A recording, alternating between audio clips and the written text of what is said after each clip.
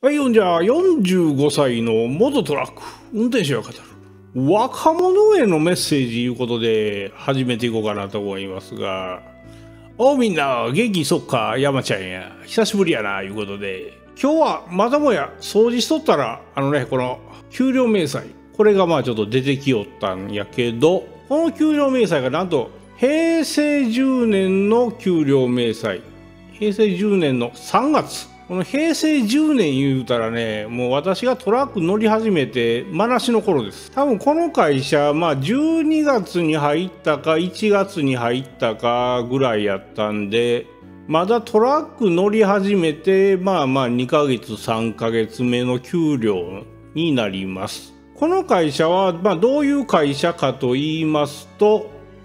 まああの簡単に言えば中小零細企業。もう従業員はもう10名もいないような会社で、まあ、社長とし、まあ、社長の奥さんが、まあ、陣取って雇ったような会社でございます。まあ、あの運んでたものっていうのはあのいわゆる不織布ですねあの、まあ、あの布みたいなもののロールもんですねそれを運んでおったんですけども、まあ、配達先はあの、まあ、不織布なんであのカーペットメーカーとかあとまあまあ医療関係もありましたしあとねあの車の内装の原料になるんかな。そういうのも運んでましたんであの自動車工場にも自動車工場関係のまあまあ下請けの工場かな。まあまあそんなところの配達も行っておりました。まあねこの、まあ、平成10年3月もう今からもう何年前や20 25年ぐらい前になるんかなこれね。まあそのそんな当時、まあ、今から思ったら給料はもう、まあ、まだ良かった方なんちゃうんかなというとこなんやけどほなまあまあちょっとねそんなとこは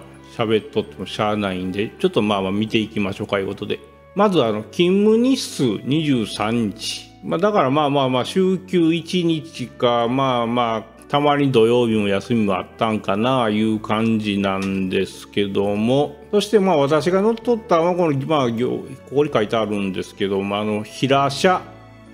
平車に乗っておりました。そしてまあ勤務時間がまあ184時間。そして残業時間が58時間。まあ、これもね、この残業っていうのはこれみなし残業やったんでね。まあなんとも言えへんねんけど、まあもっと多分ね残業しとったと思います。まあほんでまあまあこんな休日事故もないし遅刻もないし早退もないしっていうことで、ちょっとここね、もう古い給料明細なんでちょっと印字があれなんですけども、まあこの月に関しては近距離は全く走っておりません。0回。そして中距離これもちょっと見えへんねんけどこれは4回。で長距離も4回。そしてまああの基本給が15万。解禁手当が1万円。無事故手当が1万円。愛車手当っていうのは何でやろうねこれ。まああのトラックをきれいにしたり。結構ねうるさかったんでねここの社長ね。私が一番嫌な洗車。これが前も言うたんやけどあの長距離帰ってきてトラック洗うて帰れよって言われた会社ですね。もう嫌で嫌で仕方がなかったと。そしてこの時間外手当が5万8000円。残業時間が58時間。時間外手当が5万8000円いうことはまあ1.25倍やと考えると基本給は時給900円ぐらいになるんかな。まあまあそんなんで。あとねこの会社あの走行手当っていうのがあるんですよ。ここ7万2000円ってあるんやけどね。これがねあの距離手当なんですよね。この走行手当っていうのが。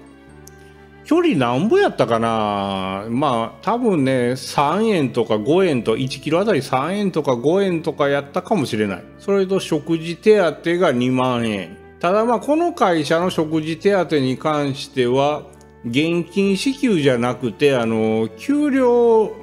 のこの中に入っとるんで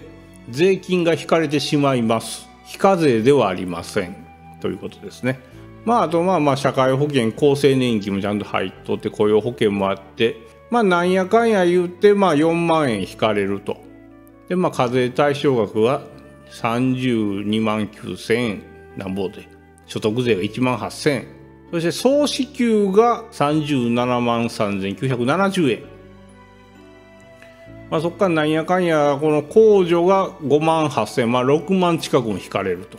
まあ、そしてまああの差し引きがまあこの31万4000まあ31万5千円ですね賞味ねまあこの給料をもうこの平成10年3月もうトラック乗って多分もう23ヶ月ですわこれほんまにまあそんなんでもまあまあこんだけ稼げてましたよというような会社でしたね。まあ、あとこのね中距離なんですけどこれはねあの、まあ、あの関西から静岡どこやったかなあれ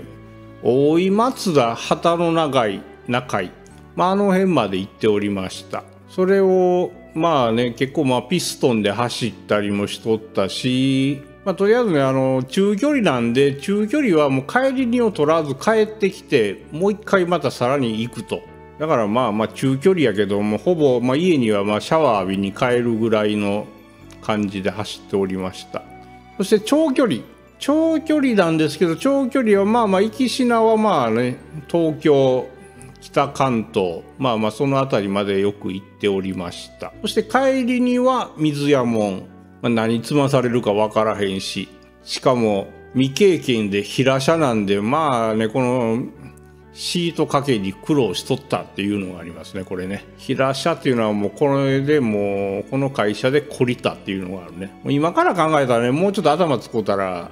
もうちょっと綺麗にねできたんかなとかいうのもあるんですけどあのシートはねやっぱりあの行きしなはいいんですよ。あの不織布なんでね別にあの当てもん線でも別にシートは破れることもないんですけど帰りがねもういろんなもん積まされるんでねなんかもう毛布当ててシートかけなシートが穴開いたりとかそんなこともありましたんでもうそれでちょっともう平車にはもう一生乗らんぞというぐらいの苦い思いをしたのがあります。そしてこの会社ねあの、新人は平車乗せられるんですよ。そしてちょっとベテランなっていうことウィング車になると。当然もうねその平車とウィング車とあったんでもうウィング車が羨ましくて仕方がなかったというのがあるねとりあえずウィング車だともう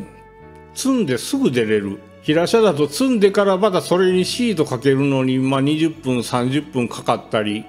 大シートになるともっとね時間がかかると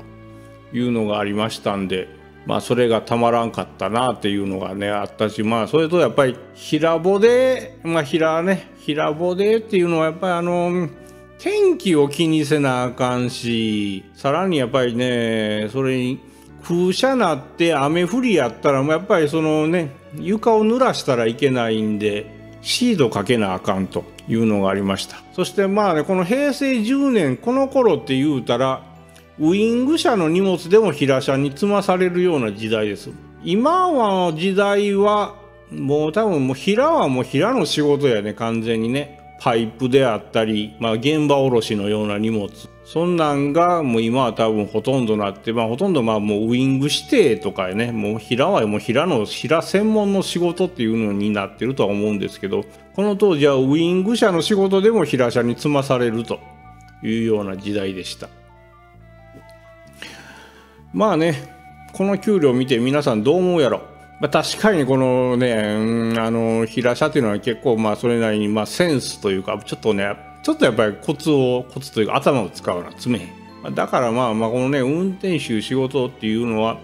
まあ、ほんまの意味のもうバカではできないアホではできない仕事ではあります。まあ、大した学歴もなく入って2ヶ月3ヶ月で30万手取りをもらえるしかも4トンでこんな時代は良かったんちゃうかなと思うんですけどね。